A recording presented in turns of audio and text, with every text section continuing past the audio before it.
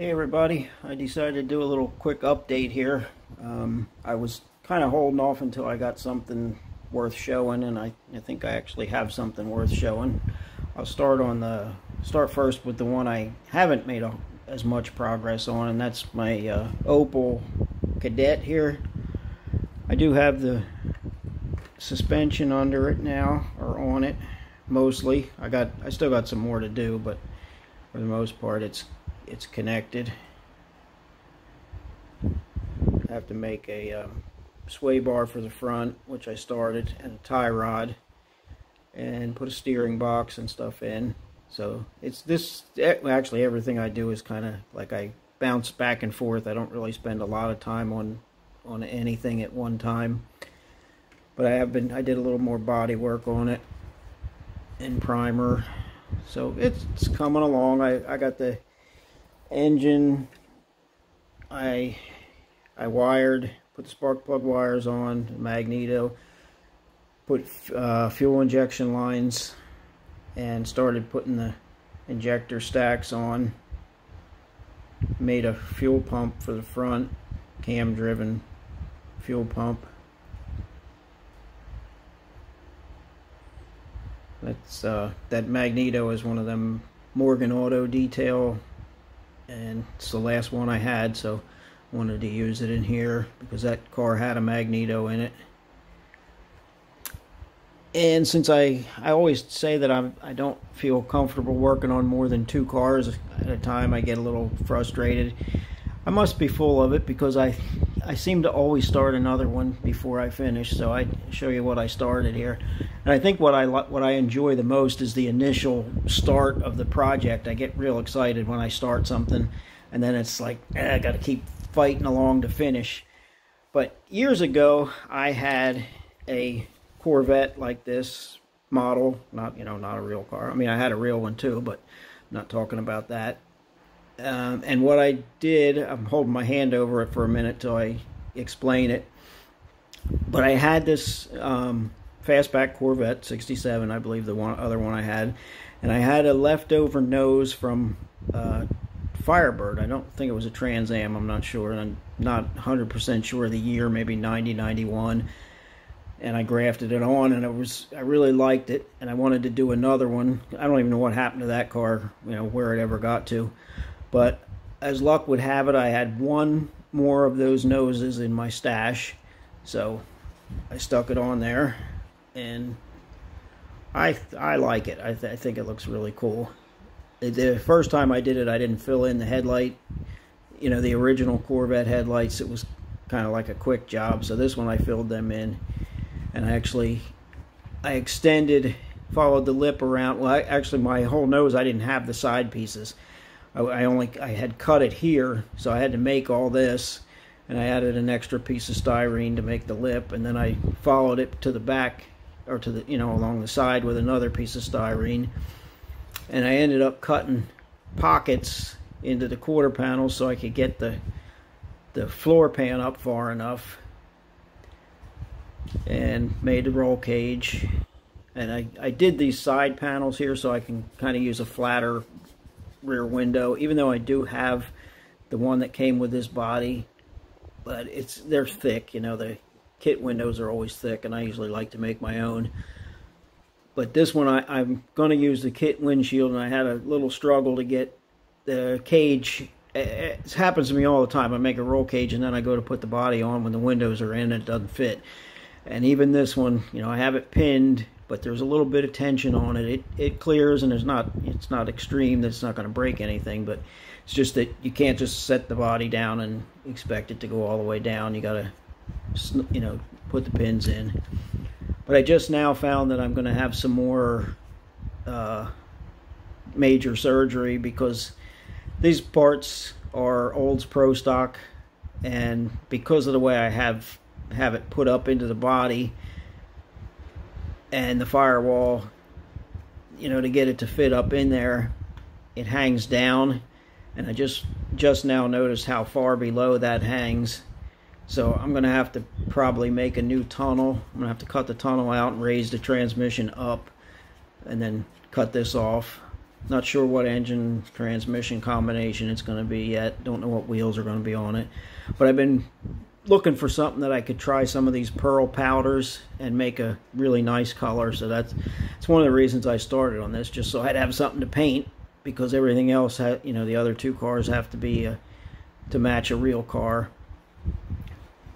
But that leads me to the the big project, which here's the engine getting started on. But here is the big project. And I got to thank Jimmy Ledford for the advice here on the doors. This is like way over my head. I've never done a uh, cut doors out and hinged them. Um, so it's it's all new to me.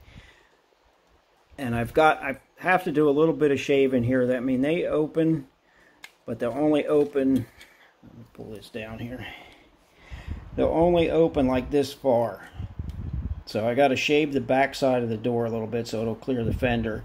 And I guess a lot of people do this that the the door goes in behind the fender, but that really didn't work out for me. And I believe it's because of where the pivot of the hinge is. It's a little far forward. And it's kind of hard to go back anymore with this combination but the front end is now on with magnets. I made an inner structure here. Oh, actually, it's not on the one side, and I hope that didn't mess me up because I just put the magnets on. Let me see if I can pull it off. And show you where I got magnets.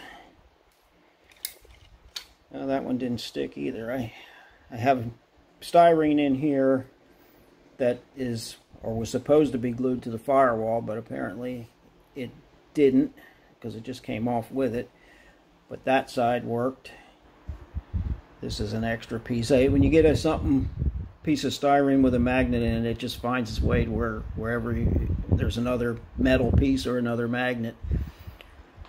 But just for curiosity let's see if I do line this up. Yeah it goes back in. It, and what I had problem here was that the front end was kind of drooped so I had to actually pull it up when I put these magnets in so I still have to attach the other side. But with the front end off the doors will open. And I have magnets here. I have magnets inside the door jamb. So when it goes closed you know it, it locks in where it's supposed to be.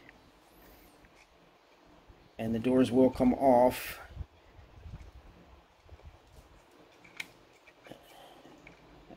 I'm not sure how much trouble it'll be. Let's try the other one.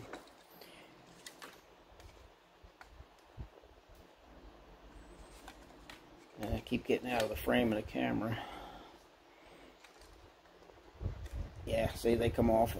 And they're just uh, straight pins that I bent 90 degrees and put these posts on here again Jimmy Ledford to the rescue. Here he's the one who gave me his method of doing this and worked out pretty nice. I will have some some gap adjustments to do everywhere but I can add styrene and sand it off where needed. In fact I think I did that to the trunk lid. Um, yeah, because I because I lost width when I cut it out, so I just I just glued it to a flat piece of styrene, like I had flat sheet laying on the bench. Put some super glue, dropped it down, and then just cut around it. So it, it gave me like 10, 10 or 20 thousandths, I believe that is. But it, it tightened up the gap on the trunk.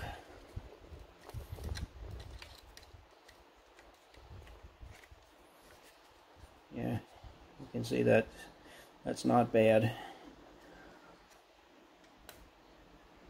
And I, I don't know if I mentioned this in the last video that I had dropped this body and broke both the rock or the um, windshield posts, broke them both off. So I kind of taped everything together with the doors to get my gaps and I super glued them back on and then I stuck some pieces of straight pin um, I don't know if you can see a piece of straight pin there I super glued so, so far it's holding up and hopefully it will keep holding up. Think I have rear suspension started putting together for it. This is kind of a first for me too. I normally don't put the struts and stuff on. Usually I get, you know, get this all mocked together, paint the frame, and then I put glue it to the pan for good.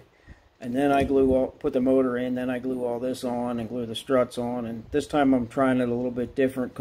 I don't know if it's going to look good or not. I mean, I hope so. I don't know if I showed the rest of the roll cage. Pull the pull the pins out of here and then this will come off. Oh, forgot about the door. Okay, there you can see the straight pins glued in to hold the windshield posts on.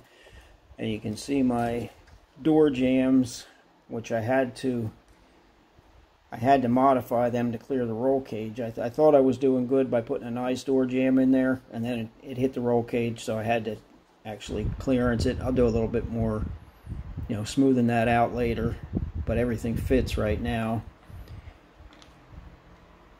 So now I should be able to get this door off. It's a little bit of a snug fit. Yeah, there it is. But there you can see my roll cage.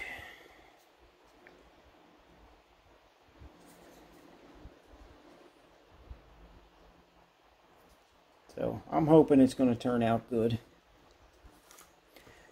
And I figure I'd give you guys a little bit of um, background here. I don't know if anybody's wondering how I ended up in Thailand or not, but um, try to make a long story short, I ended up having a Thai wife, and I brought her to America for five years, and I kind of figured I would never be able to afford to retire in America because I I failed to plan.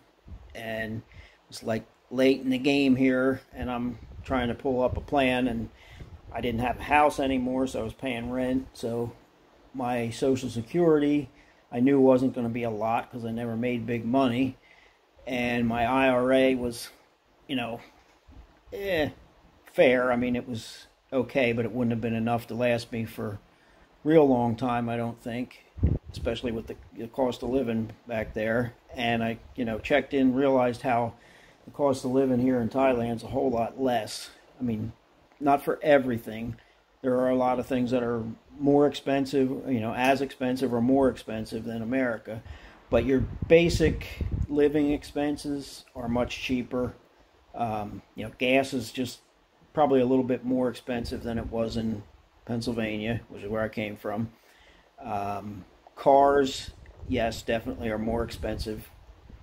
But your housing, your electric, your utilities, all that's much cheaper. There's no uh, property taxes. So I, I can, I, I'm not going to say I can live on my Social Security, which I just actually started collecting just uh, two months ago. And I, I don't know that I could live on it unless I don't, unless I would want to live as you know, miserly as possible and have no luxuries, not be able to go to the hobby store and buy paint, you know, just be the, the bare minimum to get by. But with the Social Security and a little bit of my IRA, I can I can live decent. You know, I still can't be extravagant, but I can live decent. So that's how I ended up here and why I'm here course, the weather, you know, I can't complain about the weather, even though the, the humidity and the rainy season's coming, it still beats the cold. I mean, the, the coldest I ever saw here, I think, was like low 50s Fahrenheit overnight, and by 10 o'clock, it's up in the 70s already on those days. So I, I ride bicycle almost every day. I try to, you know, try to keep active that way because my model building is definitely not active. So I uh, I ride uh, about 20 between 25 and 35 miles a, a day and usually five days a week. So it, it kind of keeps me in shape and I really enjoy it. Gets me out in the in the gets my day started nice. That's pretty much my story. And and you guys have any questions or anything, you know, if you're curious like I, I'm a curious kind of guy. I always like to know things. So I don't have, you know, my li- my uh, my life's no secret or anything. So anybody wants to know anything, just send me an email or leave a comment or something. If you you know if you don't care, you don't care. That's fine. I'm you know no big deal to me. But like I said, nothing's a secret. So if anybody's curious about anything, just let me know. And I noticed I picked up a couple new subscribers, so I want to thank everybody for subscribing and and clicking that like button and leaving comments. I don't make a lot of videos because I well, I subscribe to so many channels and I I waste a lot. I hate to say waste because you guys have good good videos, but it just takes so much time to watch. Even when I don't have to work a job, it takes a lot of time to watch all these videos and and still have time to build my models, ride my bike, live my life, and you know. So it's a balance, and I try to. I don't want to flood everybody with more videos, so I try to keep mine to maybe once a week or or around that area that you know that time frame once in a while if i have something really cool going on i might put out two in a week but not usually so that's that's pretty much my story and uh, thank everybody for watching. Thanks for subscribing. And i'll talk at you later next time. Bye